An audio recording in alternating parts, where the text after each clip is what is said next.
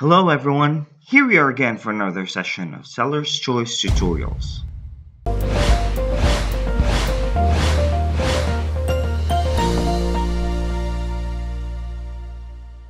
In this tutorial, we will learn how to assign roles on Facebook Business Manager. Sometimes there is so much to do in so little time. Because of this, we need to hire somebody. With the help of Facebook Business Manager, we can assign somebody to do stuff for us. Facebook launched Business Manager to help companies manage and organize their Facebook pages and advertising accounts without being tied only to an individual personal account.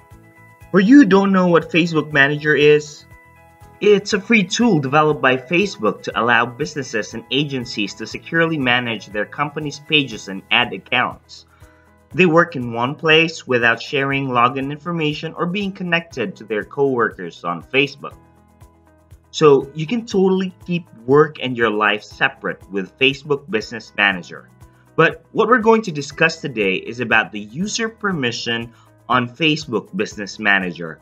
This is like hiring an employee to work for you. So let's get started. Don't forget to hit the subscribe button. To assign roles on Facebook Business Manager, you need to sign into your Facebook account first.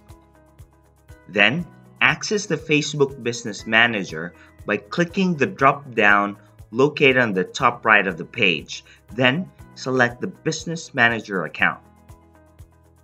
Once you're on the Facebook Business Manager page, click the Business Settings button or the Settings cog to access business settings. If you're the admin, you'll be directed to the People section. This is where you can add another person to work for you. Click the Add button in line with the title, and you'll be directed to the Invite People wizard. Enter the email address given.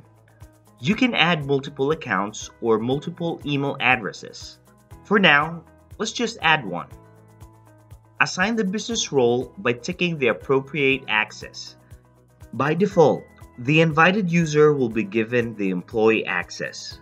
Assign the admin access at your own risk, for admins have access to all of your business settings, accounts, and tools. Just so you know, there are additional roles. You can view this by clicking the Assign Additional Role. The two additional roles are the Finance Analyst and the Finance Editor. The difference is in the description. After you assign the appropriate business role, click the Next button. The next page is the Assign Access, and this is where you can assign the roles of each specific pages, ad accounts, or catalogs. Under the Page section, this is where you can assign the page you want your employee to manage. You can simply assign multiple pages, ad accounts, catalogs, and different roles. Tick the appropriate page and select the role on the drop-down menu in line with the selected page name. This goes the same with the ad accounts and the catalogs. For now, I just want to assign my employee one page and I want him to be a moderator of that page. Once everything is set up, click the invite button below and the invitation will be sent. As you notice, the invitation sent prompt gives you a little summary. Select the Done button to close the invitation prompt and go back to the Business Settings page. The invited user will show up in the People section and has a pending status, or we're waiting for him to accept the invite. The invited user will receive the invitation email almost immediately, and this is the example of the invitation email. After the invited user has accepted the email, the pending status will be removed and the email address will be replaced with the name of the person. When the time comes that you notice that your employee is more capable than handling a couple of accounts, you can still assign additional roles.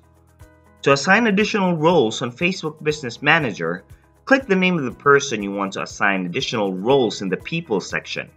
On the Details area, click the Assign Assets button located on the left side of the page. A pop-up window will show up and select the type of asset you want to assign. Select the pages, ad accounts, or catalog that you want to assign as well. Then, select the role that you want to designate in line with the selected page. Once you have finalized everything, click the Save Changes button to confirm. You will notice that the newly assigned pages are highlighted in mint green. Just so you know that you can check the history of the activity of the account by clicking the View History link located on the top right. You can easily change the page rules on the assigned pages by selecting the icons in line with the page name. You can also easily email your employee by clicking the icon below the remove link. If you want to remove the employee, you can easily do that by clicking the remove link and confirm it by clicking the remove button. The employee's name will be removed immediately. So that is all that you need to know about assigning roles on Facebook Business Manager. And I appreciate you staying with me in this tutorial. Just so you know that we have a lot of tutorials and webinars on bits of advice on how to run and the applicable techniques for your e-commerce business. You can always visit our site at sellerschoice.agency and browse through our huge compilation of webinars, tutorials, and blogs. And don't forget to hit the subscribe button to stay tuned. See you soon!